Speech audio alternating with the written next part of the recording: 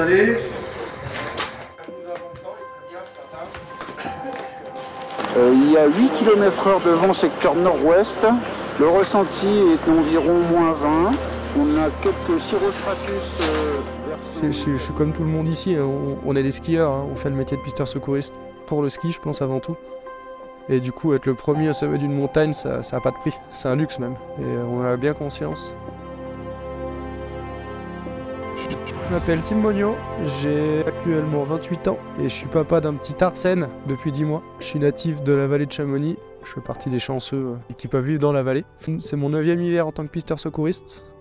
Ouais, C'est la passion qui m'a été transmise par mon oncle et, euh, et l'histoire familiale. C'est un métier qui m'a toujours plu, de skier, de, rendre service aux gens euh, en les renseignant, en apportant nos connaissances aux gens dans la montagne, simplement. Pisteur secouriste, c'est un métier qui consiste à énormément de choses. C'est compliqué de caser, euh, ça se résume pas en un mot en tout cas.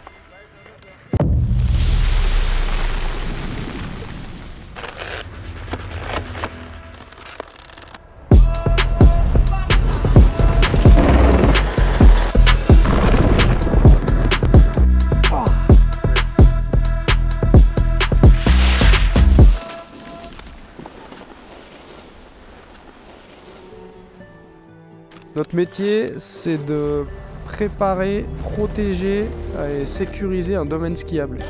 Faut imaginer que ce domaine, quand on arrive en début d'hiver, il n'y a rien. C'est un manteau blanc. Et du coup, faut planter les jalons au bon endroit. Et c'est nous qui allons créer la piste pour qu'ensuite les dameurs euh, puissent euh, aller euh, damer tout ça.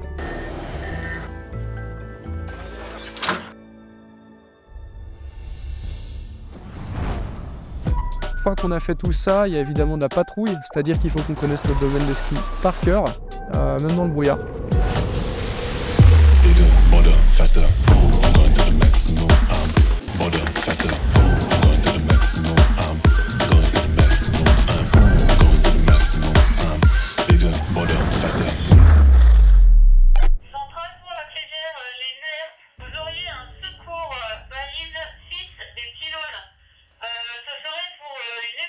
Une épaule balise 6 des pylônes. Bien pris, on y va. Euh, et après, il y a aussi également du coup la partie euh, majoritaire. On est là pour assurer le secours sur les pistes. Le secours sur les pistes, c'est assez large aussi. hein. Ça va du simple genou en passant par des polytraumatisés jusqu'à des fois bah, des, des- décès.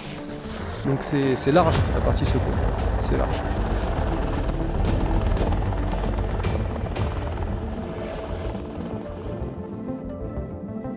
Euh, la particularité, c'est qu'à Chamonix, en fait, on est quasiment tous artificiers. Euh, sur la Flégère, on a un domaine qui a une dizaine de pistes de ski et on a 123 points de tir en tout d'avalanche, avec euh, tous les moyens confondus. On va déclencher les avalanches à la main, on va déclencher les avalanches avec des gazex, on va déclencher les avalanches à ski, dans la mesure où il n'y a pas trop de neige. On va déclencher les avalanches avec des catex et également des canons avalancheurs. Euh, sans oublier du coup l'hélicoptère. On tire au décibel ou même à la main en jetant l'explosif.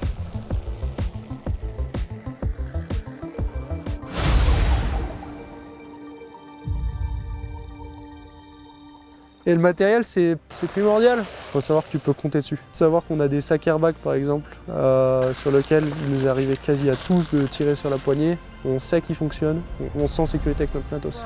Euh, savoir que tu vas pas te brûler les yeux euh, en passant ta journée au soleil sur un domaine comme la flégère, c'est important et du coup, euh, on sait qu'on va bien vieillir. Quoi. Déclencher des avalanches, c'est pas anodin. euh, faut aimer être dans la tempête, euh, dans un brouillard où tu vois à peine tes spatules pour déclencher des avalanches. Mais euh, voilà, on a la connaissance terrain et, et du coup, c'est, ouais, il y a une certaine adrénaline dans tout ça hein, qu'on adore. Qu'on adore. Ok.